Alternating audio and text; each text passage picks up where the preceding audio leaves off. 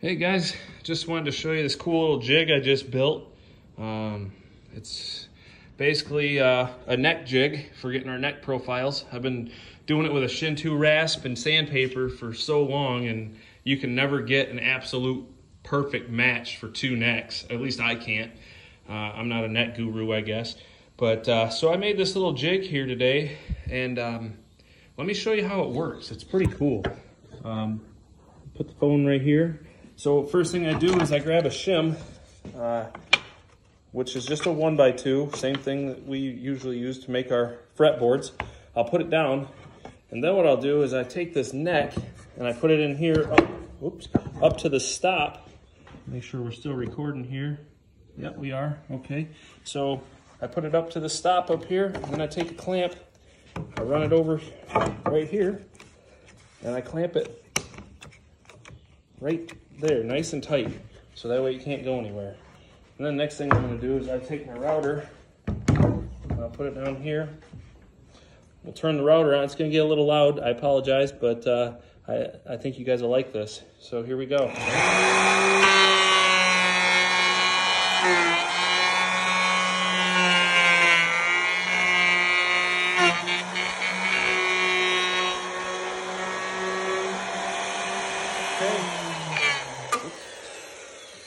That side's done already, so then we'll unclamp it. And I made this jig pretty cool here to where, sorry, to where uh, basically we just put the stop on the other side, like so. Tighten that down a little bit.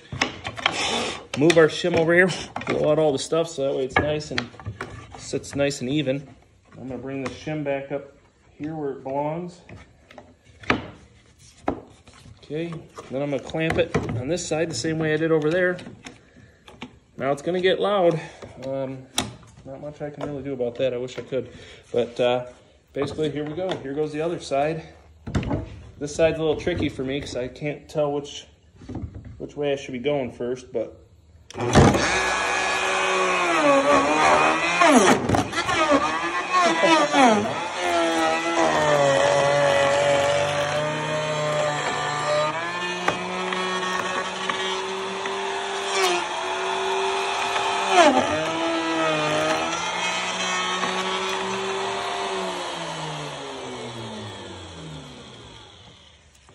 Still got all fingers, guys. I know that got a little jumpy, a little sketchy for a second, but uh, this is only the second neck I've actually played around with with this thing. Um, but if you can see this thing, I mean, like I said, I still got to put a couple stops in so that way I can stop it absolutely perfect in the same spot on different necks.